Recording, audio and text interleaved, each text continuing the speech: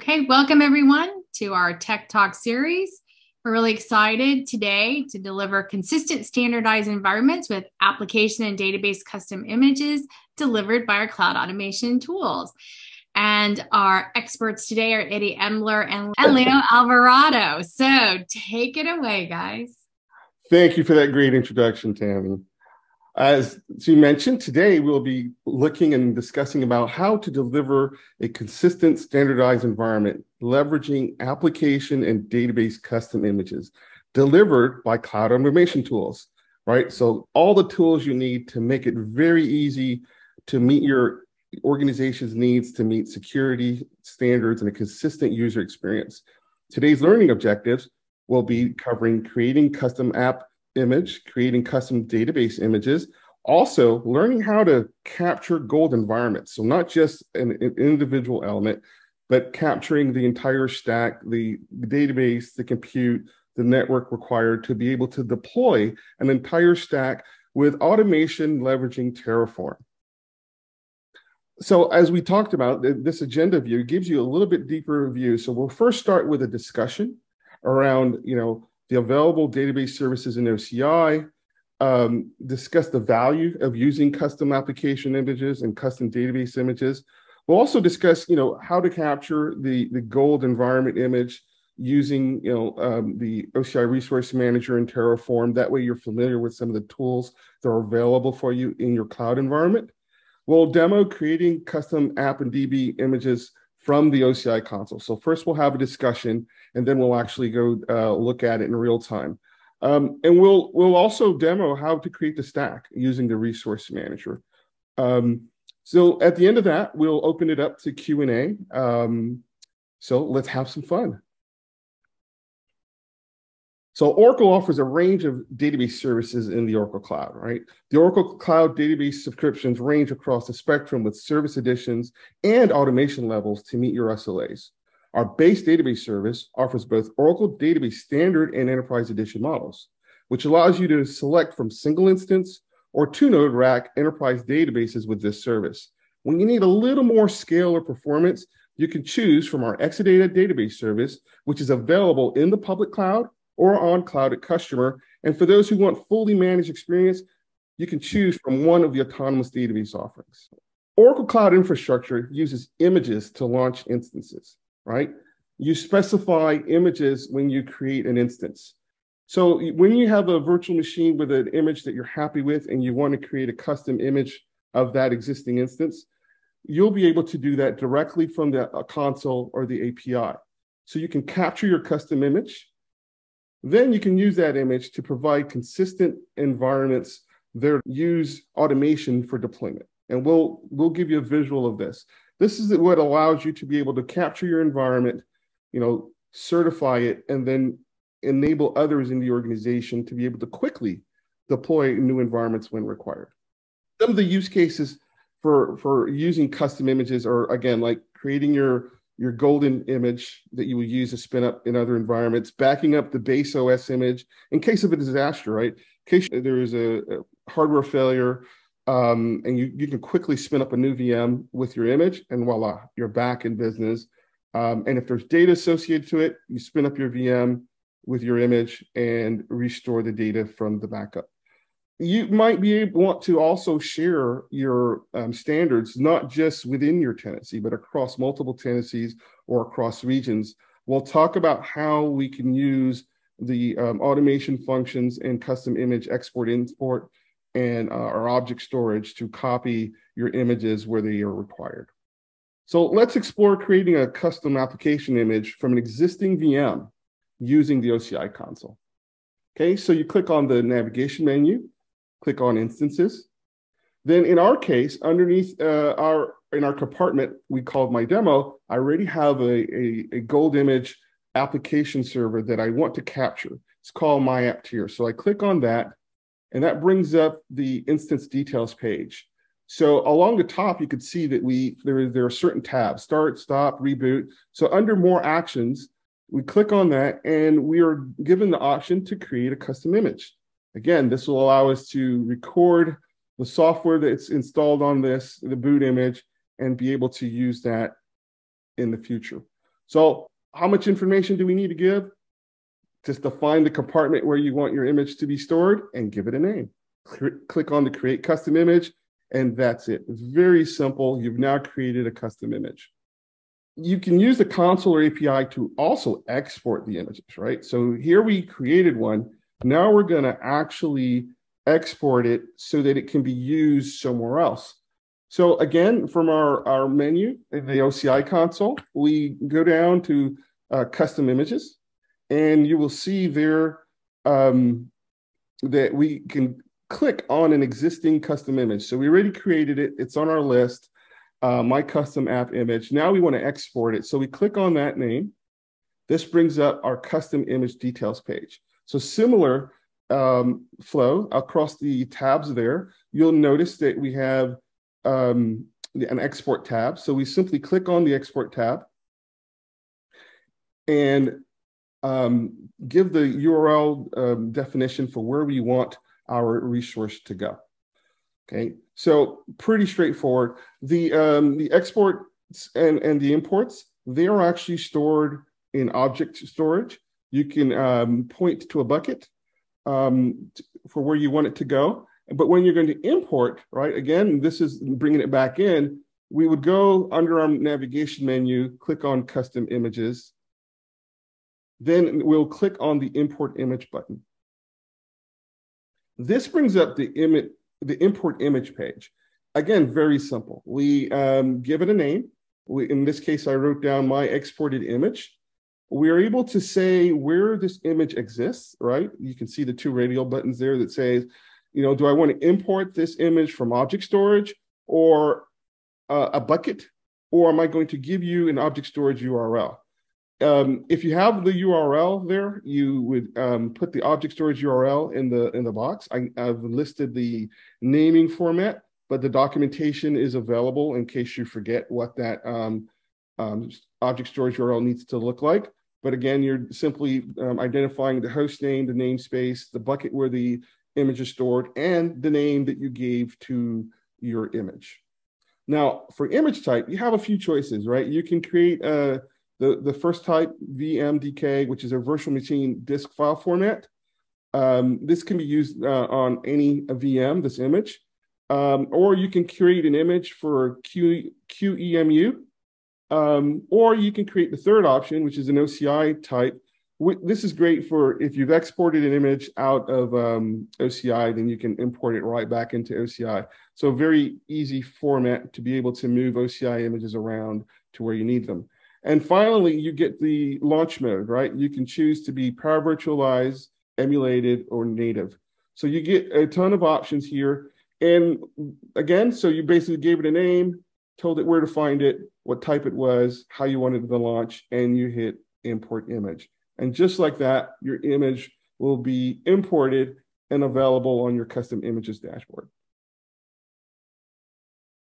So the next thing that we're going to talk about is you know the marketplace so sometimes you know you don't want to have to reinvent the wheel right many of our customers and the oracle teams have created some very useful images that are stored in the marketplace right? These images cover everything that you can think of. You can um, log in uh, to the to the uh, menu go down to the uh, marketplace and you will see a list of applications launched for you. On the left side, you'll see the filters that lets you pick the type of image that you're trying to apply, uh, lets you pick the publisher that might have done it, the category, um, whether it's a, a free or a BYOL um, um, image um, that you can that you can use, or it's a paid image. So you can filter down exactly what you need, and obviously you can always in the search bar um, put in the name of the uh, of the image uh, or category uh, so that your image comes. Looking at the list here, you can see you have all kinds of database images, MySQL, Oracle, application images like WebLogic, PeopleSoft, JD Edwards, um, uh, images that are for GPU, uh, right, for security, for firewalls, for transaction processing. So as you go through the list, you can find an image that will help you to speed your development process. So you don't have to always start from a blank VM and build up. you can go get a marketplace image, um, install it on your instance, customize it the way you want it, and then go back to our first process, right? Which is to create a, a, your own gold image of um, of an existing VM. So that's a great way to get a jump start on your environment, and then you can further customize it as required. Um, so we've been talking about the instances, so we're going to switch the topics just a little bit and talk about databases, right? So although even in the marketplace you can find database images to use, those images are going on top of uh, of, a, of an instance, right? A VM instance that you would would control manage. But here, when you create a custom database image, um, you're actually able to use that image as part of the deployment when you are selecting um, some of database as a service PaaS offerings that we have. So when we talk about our base database service and our Exadata database service, these are some of the images that you're going to be able to do. And this comes in to be very useful when you have applications like PeopleSoft and SAP that might have packages of, of um, patches that need to be um, applied and need to be uh, consistent, right? So very simple. Again, you you log into your um, your menu, you um, go down to um, your database software images. You click on that. Then um, you are able to click on Create Database Software Image, which will launch the software image page. And again, very simple inputs. You know, you know what compartment is your um, image going to be stored in? Um, are you creating an image for a VM or an Exadata? Um, then, uh, you know, tell me a little bit about the database software image that you want to configure. What is the base version? Uh, you see, we picked 19C on the diagram on the far right. Um, choose a patch set update, uh, a bundle patch. Um, are there one-offs that you need? right? Those are all options that you can build into your gold image. You're doing that one time, you're going to standardize on it, and then you're going to deploy it everywhere you want. Um, you know, but there's another useful item as we were talking about the more complex applications that might need bundles, uh, you know, of of patches to be applied. You know, once you it, maybe you have an SAP Oracle Home that you already want to emulate. Well, instead of having to manually put everything in and list out all the individual patches, you can actually upload your Oracle Home inventory and it will actually use that to build your uh, database software image. Um, under the advanced options, you can always add tags, right? One of the um, cool tags is I can say, hey, this, this database is an SAP um, profile. It's a PeopleSoft profile. It's a JD Edwards profile. That way, when wherever we're doing maintenance, we know what kind of services that we're impacting here. And simple as that, you click on create database software image and it's done. It now shows up as an available custom database image that you can use whenever you do create database. So with that being said, let's take just a brief moment to go into our console and see what this looks like. All right, so I have logged into the OCI console and I, you know, we talked about clicking on the menu, we'll click on compute. And in our case, we're dealing with uh, the instances. So we'll click on instances. So on the left rail, we have our compartment. We always want to make sure that we've selected the compartment that is where we want to work on. So that way we can apply the right access and permissions. So you see that we have our gold image that we were looking at, the My App tier, and we have an image that we made out of the uh, marketplace named. So, um, you know, if I wanted to create a custom image, I would go to custom images. And this is simply, again, I could import an image. Again, this is the screen we were looking at. We would give our name, tell where, where it was, put in our URL, our type, and click on import images and we would be done. So nothing very difficult there. Similarly, if we wanted to look at a, an existing custom image, right? Again, we would be in the menu, custom image. There's an existing one, click on it. This is the dashboard that we were showing in our graphic. Okay, here's the export tab. Click on export. we get our choice. Hey, where do you want to put this? You want to specify a bucket or do you want to specify a storage URL? So we could give our storage URL where this is going to be. This would give us our image format and export. Okay, as soon as we finish our export, our exported image would show up here on our dashboard. So whether you import the, um, the, the custom image or you create it from an existing custom image, they all end up, the custom images end up in this list. So mm-hmm. that's pretty easy there. Uh, Eddie, yes, what, what, what's the difference on launching the marketplace database image versus using the custom image uh, available in OCI? I'm glad you asked. Um, so the major difference is, you know, the the marketplace images are going on your instance, right? So those are being deployed on the instance, and then you run and maintain that instance on your own. When you use database images, those database images are stored in Oracle's uh, managed object storage, and they also um, get the automation tools for being able to deploy, create, and manage right? So that is the difference is the, the, the database um, images that we are going to uh, actually look at here just in, in a moment, they actually um, operate that way. So thank you for that question. All right. Thanks, Eddie. Well, I, I see a question in, in Q&A, like, how about creating the software image from OCI? Why upload when you can make in the cloud? Right. Now, we, we, our first scenario actually did this that. So one of the things that we could do, right, is we can actually create the custom image, which would be from an existing instance. So that is doing it in the cloud. The other the other thing is we can import an image that has been created in the cloud from any other location, importing it in.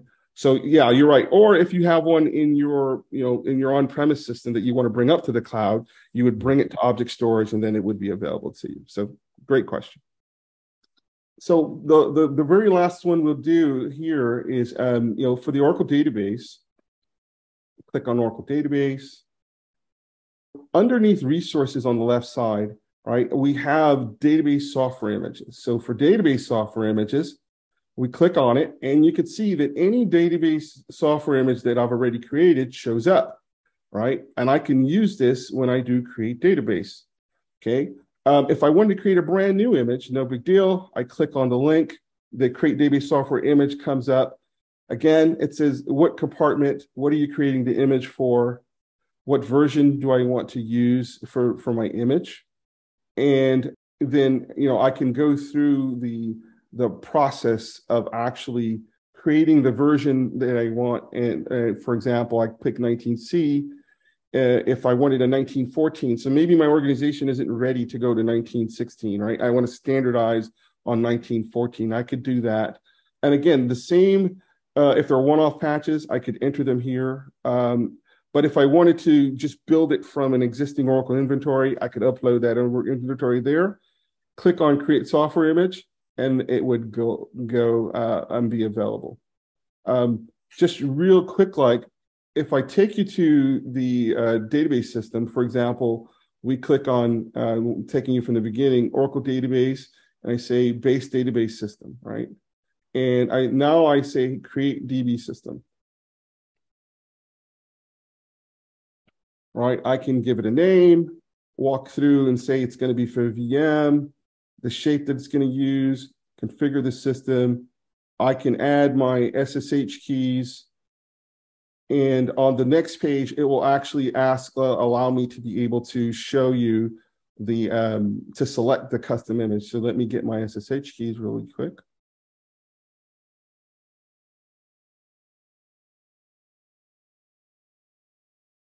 So we tell it the network, we're going to be in my demo VCN, database is going to be on a private network. I'm going to tell you it's uh, my host for the prefix. Here, I'm able to change the database image, as you can see, right after I gave it a database name. This is what I wanted to show you, is that now I have a choice of using the standard database images or a custom database image. So on our custom database image, Um, we anything that is available to us in our compartment, we will be able to um, select from this from this here and use it. So that's how your custom images are for the database are able to be used. All right. With that being said, Leo, I'm going to bring the the the, the um, presentation over to you, um, and we'll return back to our session. Thanks, Eddie. So now, now that we have uh, created our gold standards for for application tier and and database tier, so now let's see how we can bring in automation and standardize uh, the infrastructure and easily replicate uh, environments. So let's let's start. So on your OCI console, so go to Developer Services and click on uh, Resource Manager. So let me pause here. So did you know that in, in OCI, you have a, a free tool it's called OCI Resource Manager, which is a, a fully managed Terraform as a service that you can use, and it, it will allow you to use it as infrastructure, as a code to automate uh, the provisioning across all your OCI resources.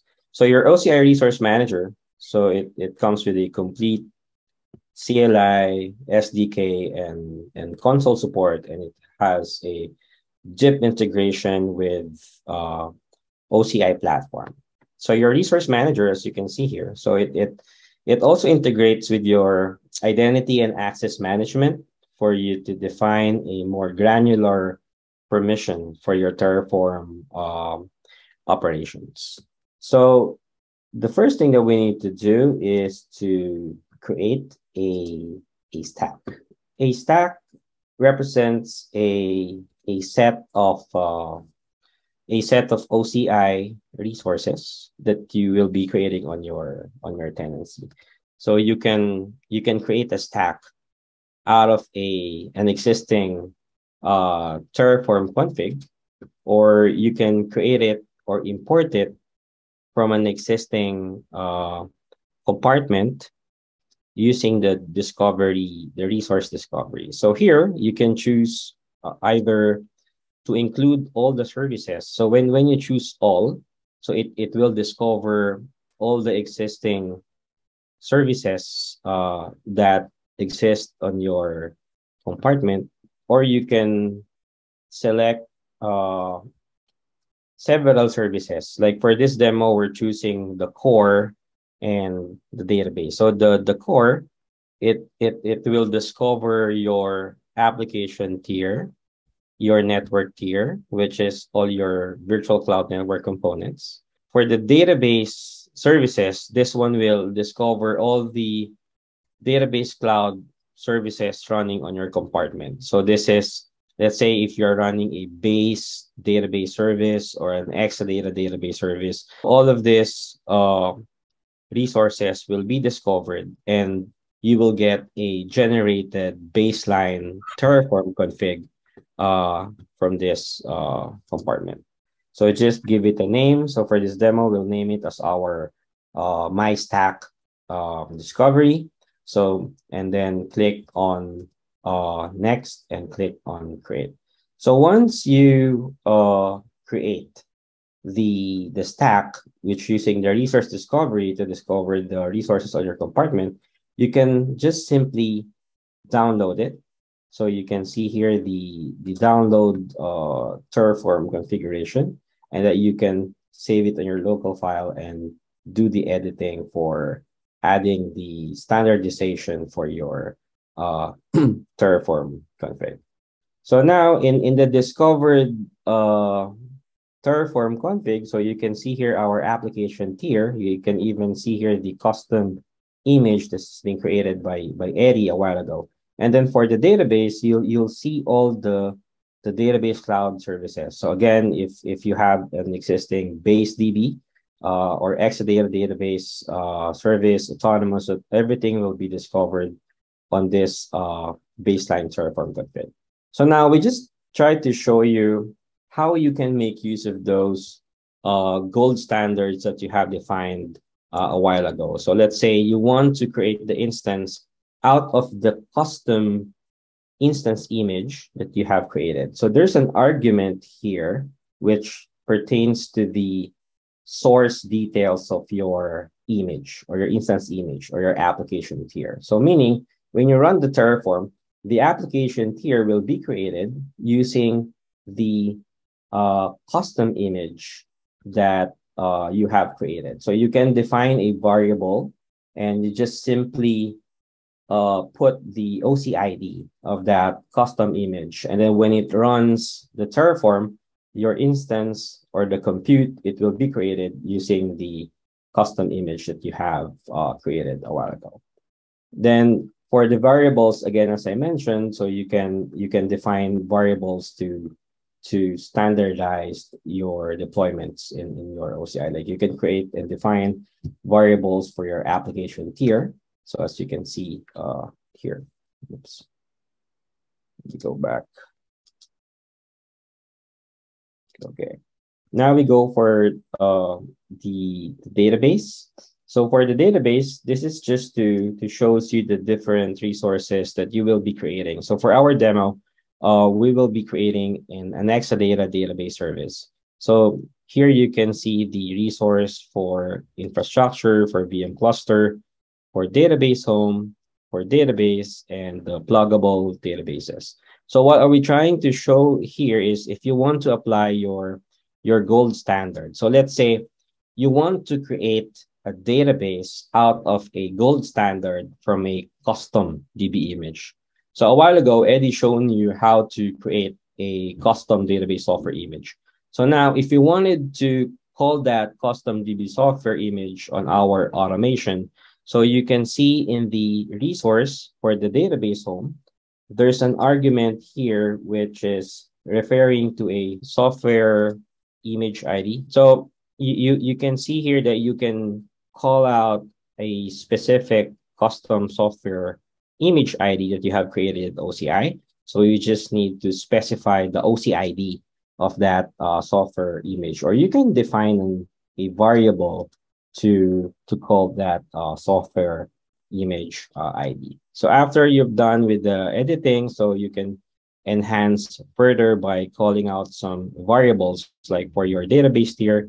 You can even uh, call uh, variables for the creation of your Exadata infrastructure, for the creation of your Exadata VM cluster, and also for the creation of your database home, database, and uh, pluggable databases, which it, it will be very easy for the users to standardize the naming also of your uh, environment. So you can define different variables out of the supported arguments per resource. Like on your database, you can define a variable for your database name, unique name, the type of workload, the uh, the admin password, or for the database home, the DB version, the display name.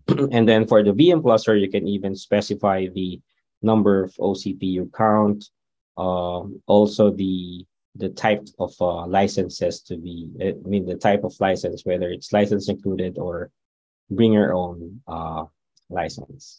So now that we have done editing our Terraform config and, and use our gold standards images from our custom application tier and custom database software image. So now let's try to create our stack to deploy our full stack application and database tier. So from the edited Terraform config, you just need to wrap it into a, a zip file. And then when you're about to deploy, so same procedure. So you need to go through on, on your OCI console. So you can go to the developer services, uh, go to resource manager, click on, on stack. So this time, when we click the create stack, we need to choose the my configuration and choose the zip file, which is our my stack that zip, which is the one that we have uh, edited a while ago. So give it a name. So this will be our full stack for both our for application tier and uh, DB tier. Okay, and then after you you choose the compartment to which it will be created, click on next. So here you can see all the variables that we have defined. So you need to, if you want to create out of an a software image, you just need to paste the OCID. And here you can uh, specify some of the uh, arguments value and click uh, click on next for you to proceed on creating the, the stack. And once you have created the, the stack, let me pause here a bit. So, so after you have created the, the stack, so you can now uh, perform possible actions such as the, the plan, uh, apply, or, or even the import uh, state. So once you've created a stack successfully, so you can run a, a, a job to create or deploy the resources on, on your tenancy. So a, a, a job is defined as a Terraform action that, that runs on your Terraform configuration. So you can run the Terraform plan to review the infrastructure. So this will give you an execution plan. So it will show you all the resources that will be created onto your uh, existing tenancy. And then you can use the Terraform apply. And this one will be the actual provisioning or the actual deployments of the resources defined in your uh, config file. That, that that that that ends the the demo on how you can bringing together automation and your gold standards on deploying gold image uh, on your tenancy. Okay. All right.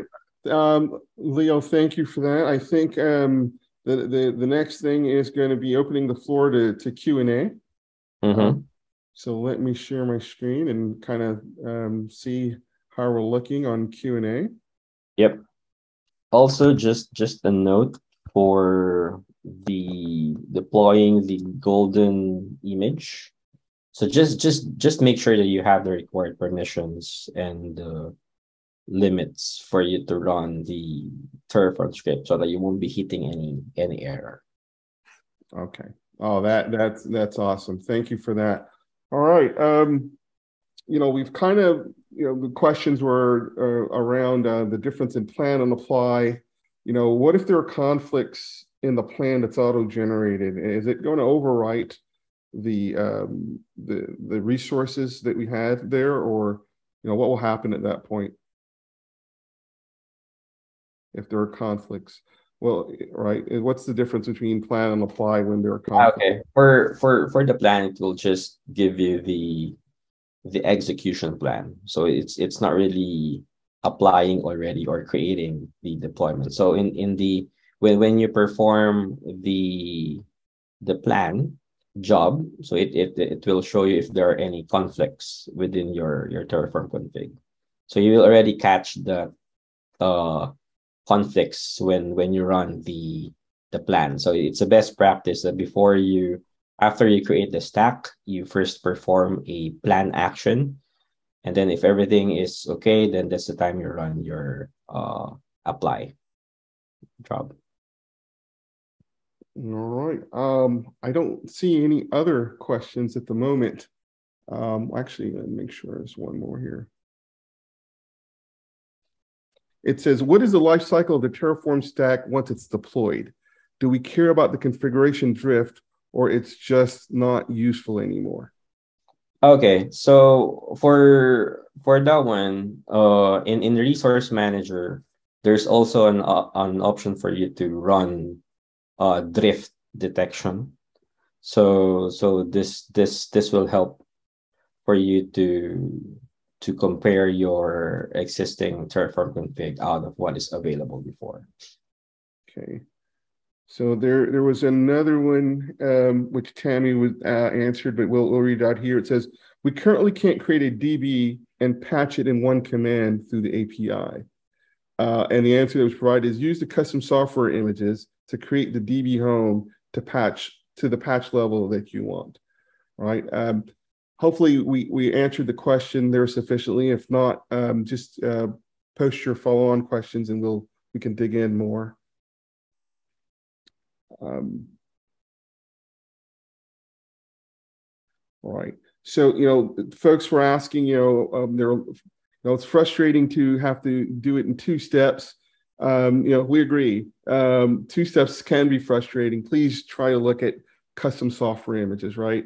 Um, you can see that we can take a lot of the steps of patching and combine them into one, do it once in an environment, validate it in that environment, and then take that to many, right? And even more importantly, what uh, Leo was showing is the power of automation, right? You script it once and you deploy it many times.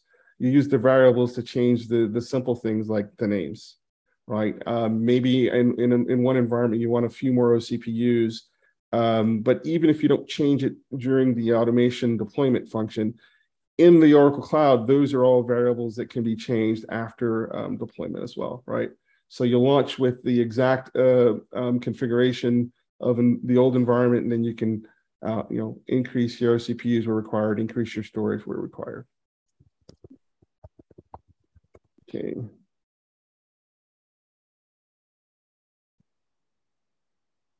Okay, what is the life cycle of the Terraform stack? One, okay, that's the one we are. So yeah, I think we've covered them all um, at this point. Okay, there's actually a couple more coming in. Say we have a stack deployed, and say we have a stack deployed, should we lock it just so no reckless resources would run a destroy? Hmm. So uh, there are different possible ways to do that. So you can also control it on your permissions on your IAM. Like you can you can limit those users that can of course if, if someone runs a, a, a destroy then it, it will delete all the deployments, right? So we, we do have some ways on you can restrict it either via the the policies Okay, very good. Um, is there a way to create a custom image using OCI CLI, basically off the console? The answer to that is yes. The, you can always use the APIs to um, execute the activities that we showed in the console. Um, so yes, there is an equivalent API to for to um, execute the create custom image. Um, when you go through the variables, they're going to be the same variables that you saw in the console, right? They're just uh, available to you through the API interface. Okay, the next one is, do you have a command reference? Um, yes, we will, we will, when we post this to, to, to YouTube, we will include the um, URL to the uh, reference uh, API. That way you can reference it. Um, so thank you for that. We'll make sure that we include that.